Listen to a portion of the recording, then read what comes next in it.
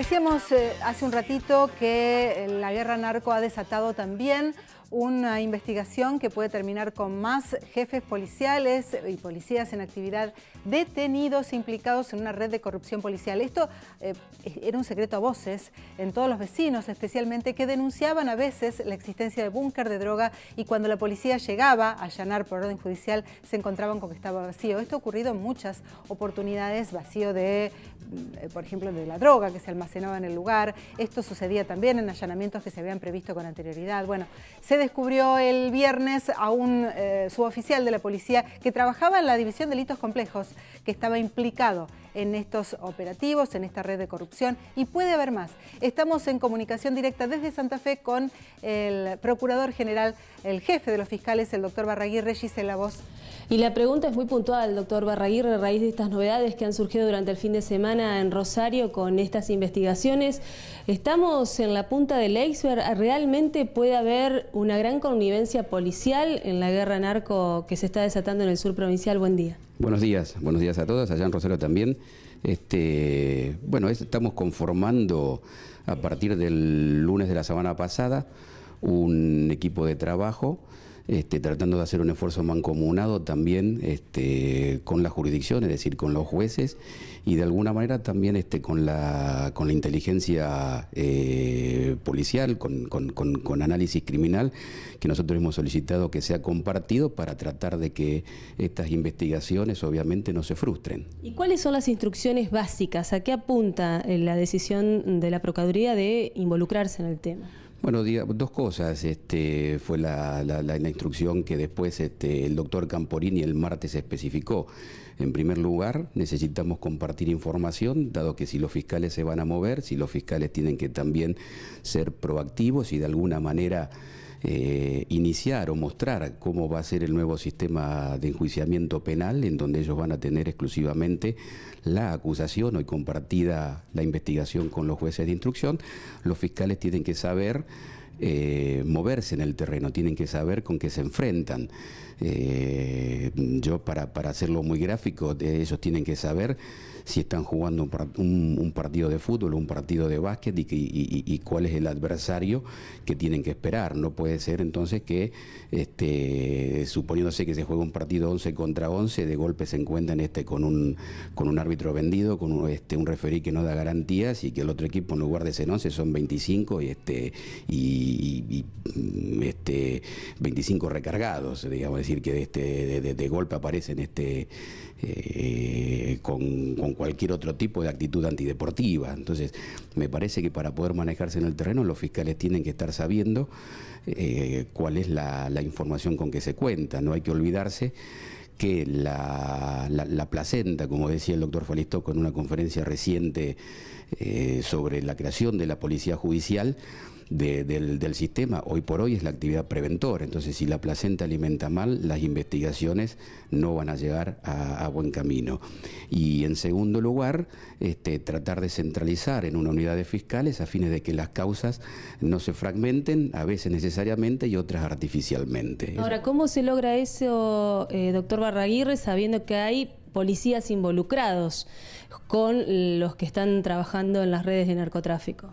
Bueno, me parece, digamos, que esto es eh, es parte del análisis este, de la jurisdicción y del Ministerio Público de saber este, encontrar la, información contable, eh, establecer inclusive, como nosotros habíamos solicitado en su momento, este, la creación de una dirección de investigaciones dentro del Ministerio Público Fiscal que vaya operando como una especie de proto policía judicial en cabeza de las fiscalías de NN, es decir, de las fiscalías de autores desconocidos, este, de, autor desconocido, eh, en donde tanto en Santa Fe como en Rosario hay fiscales muy activos, de muy buena reputación eh, y, que saben conducir investigaciones como son la doctora Bertone y el doctor Viena. Hoy precisamente Fíjense qué casualidad, digamos, es el hermano del doctor Viena, del fiscal Viena, el del doctor Juan Carlos Viena, quien está a cargo del juzgado de instrucción cuarta, el que está de alguna manera centralizando todos los procesos investigativos en, materia de jurisdicción. Susana, te está escuchando también el doctor Barraguirre. Sí, ¿cómo le va, doctor? Bueno, ya nos saludo. Buen día. ¿Cómo, le va? Eh, bueno, la pregunta tiene que ver con esto que todos suponíamos que todos sabemos, pero que era, parece aparentemente tan difícil de identificar, ¿no? La red de corrupción policial que involucró sorpresivamente, esto sí fue una sorpresa, incluso a una gente que prestaba servicios en la Secretaría de Delitos Complejos, es decir, un policía que dependía de la Secretaría de Delitos Complejos. A la hora de infiltrar, evidentemente los narcotraficantes saben bien dónde hacerlo. Se habla de jefes policiales involucrados, Barraguirre. ¿Se pueden eh, presumir nuevas detenciones en las próximas horas? Mire, yo quisiera, eh, Susana, en lo posible evitar referencias específicas a estas causas, este, dado que se están eh, investigando, pero no le quepa duda de que los fiscales van a, van a actuar este, con todo el rigor de la ley y en, el, caso de que estas informaciones finalmente se verifiquen. Doctor, también se presume teniendo en cuenta que es tan difícil identificar y hacer un seguimiento de, la red de encubrimiento del narcotráfico, ¿se presume que puede haber agentes de la justicia involucrados en esto?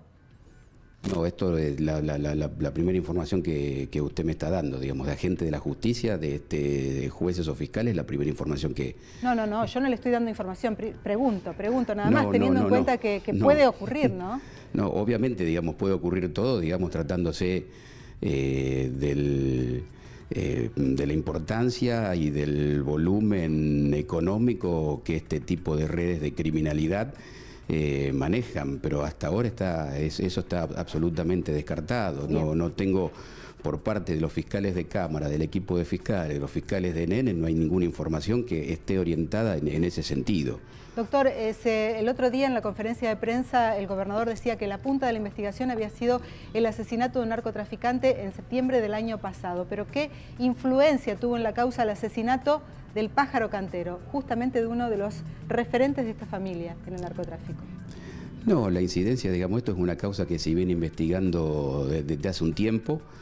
Eh, y por lo tanto, digamos, acá no hay, no hay ningún impacto. Es lo mismo que yo este, explicaba a algún colega suyo, el tema de las, de, las instrucciones este, eh, que nosotros habíamos formulado la, la, la, eh, la semana pasada. Lo que sí hay es un, es un avance, una, una serie de, confirmaciones adicionales y entonces hay una coincidencia en el, en el tiempo de lo que puede tomarse eh, como catalizadores, este, algunos hechos nuevos y este, las instrucciones nuestras han, sabido eh, articular en un momento oportuno la, investigación de estos delitos. Con esta, con esta serie de detenciones, doctor, ¿se puede decir que la banda de los canteros está siendo desarticulada? En, principio sí, pero de, todas maneras le, vuelvo a repetir, esto hay que seguir, eh, Susana, investigándolo. Mm, no es eh, la, única eh, presencia de, esta familia, ¿no es cierto?, en, la ciudad de Rosario y, hasta ahora todo lo que estamos haciendo este, es, eh, insuficiente en el sentido de que recién se está comenzando con esta nueva manera de, eh, de gestionar y, reprimir este tipo de actividades este, ilícitas. Claro, evidentemente ha tenido un, particular envión la conformación de la unidad de fiscales, ¿no? Esta nueva que han generado a partir de la semana pasada y que permite concentrar la información, como usted decía recién.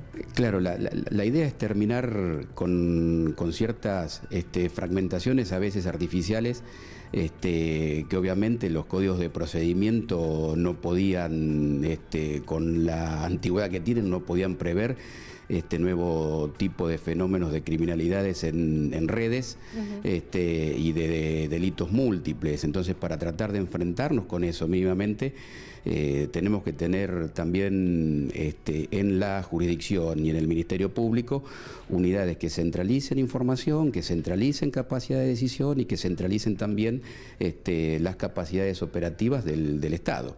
Gracias, doctor, muy amable. ¿eh? Muchísimas gracias, Susana, a usted por, por, la invitación y por el trato. Hasta Buen día. Buen día. Gisela. Simplemente agradecerles nosotros también al doctor Jorge Barraguirre, quien tempranito estuvo con, eh, bien temprano aquí en Santa Fe. Volvemos en un ratito. Gracias, hasta luego.